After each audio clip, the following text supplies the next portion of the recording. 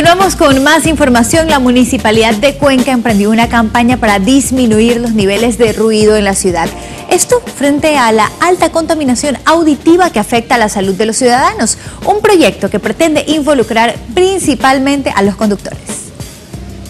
Un propósito que involucra a todos, disminuir la contaminación auditiva en la ciudad para tener un mejor ambiente urbano, sabiendo que el exceso de ruido es nocivo para la salud.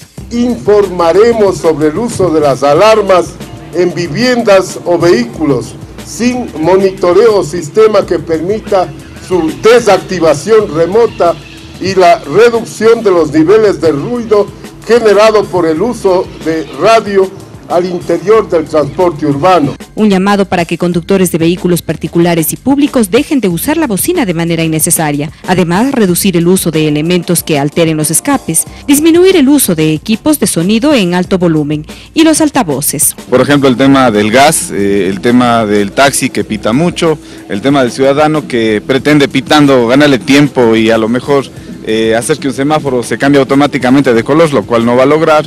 Eh, el tema de las canchas sintéticas que también surgió en los últimos días, las alarmas. Hemos planificado este proyecto desde hace algún tiempo atrás.